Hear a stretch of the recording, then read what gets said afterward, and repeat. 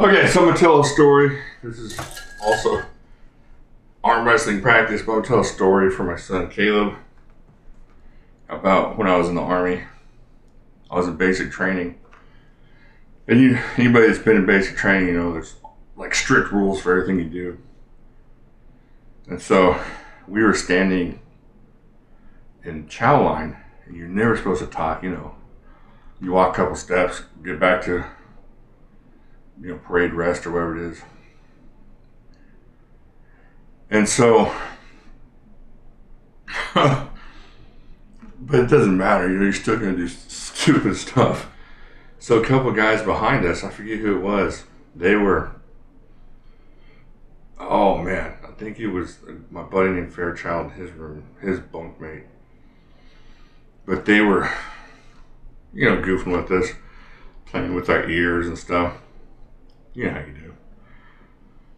But then the drill sergeant caught him, drill sergeant Dillenbeck, scariest dude ever. And so he just he just lights into him, you know, as he does, you know, drill sergeants do, and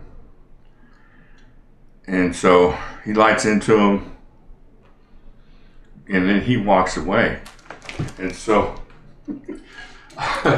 we're sitting there and so the drill sergeant walks away. He's not outside. I give him, you know, like 20, 30 seconds to get out. And then, so I'm just going to turn around and make fun of him. And so I turn around. And as soon as I turn around with my, like, like my, you know, ah, my sarcasm look on my face. And there's this three headed monster sitting right there. And the drill sergeant had been waiting for me. He knew what I was going to do.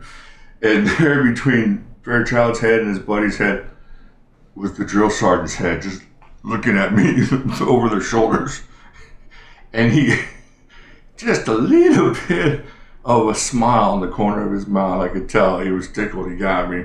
And then he just lit into me too. So that's my story.